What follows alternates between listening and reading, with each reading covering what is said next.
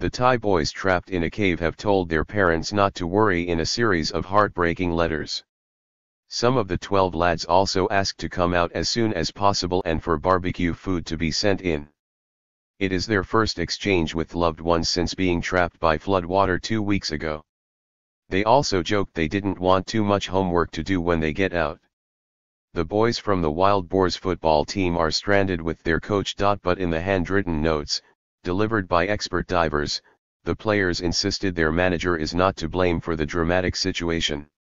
Ekkapol Chantawong, 25, apologized to the mums and dads of the children, who are aged 11 to 16. The group is stuck in Tham Luang Nang Non Cave in Mae Sai, Chiang Rai Province, northern Thailand, after water rose and cut off their exit.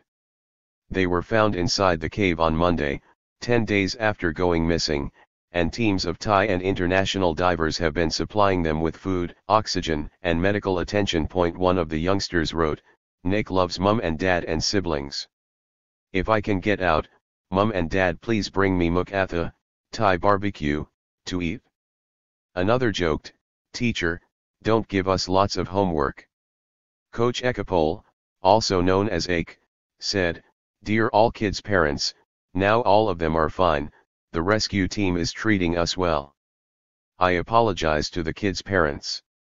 The team could be trapped for months with the country's monsoon season threatening more heavy rainfall. It comes as forest marshals weigh up drilling options.